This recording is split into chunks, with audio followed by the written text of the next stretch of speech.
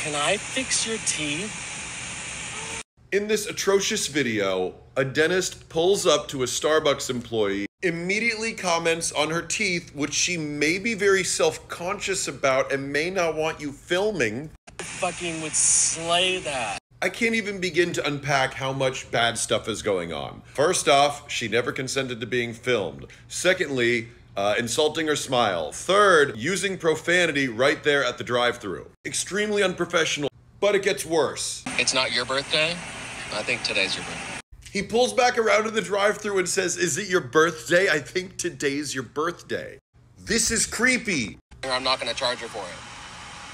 When he comes back to the drive through to offer her free dental work, she's not there because he's being weird. I want you to notice how he doesn't film the manager because he's starting to realize what he's doing is stupid. Sometimes if the camera's out, something good might happen. Snooze, you lose. You snooze, you lose. Can this video finally convince you, the internet population, that when you film something nice, it's not about the nice thing. It's about you. It's about your ego. And if they didn't agree to being filmed in the first place, it doesn't matter how much you're offering. Even if it's free dental work, you can still be a weird, creepy dude.